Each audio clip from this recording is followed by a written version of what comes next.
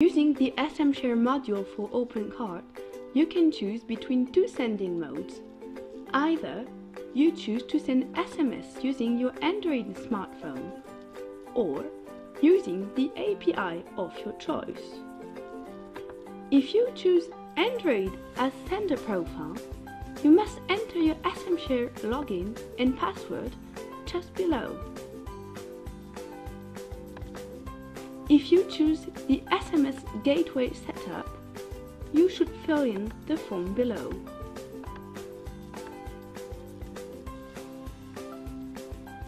SMShare provides you with the rich templating system that allows you to customize automatic SMS that you send for each customer.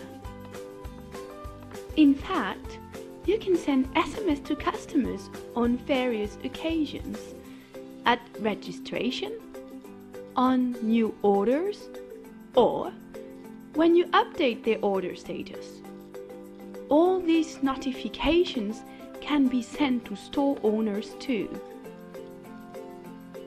Finally, the SMShare module for OpenCart provides you with some filtering rules as well as some phone number rewriting rules that are applied before sending SMS.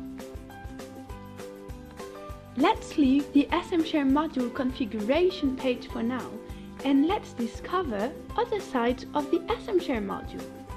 Like the native OpenCart email sending feature, SMShare module lets you send SMS to customers of your choice.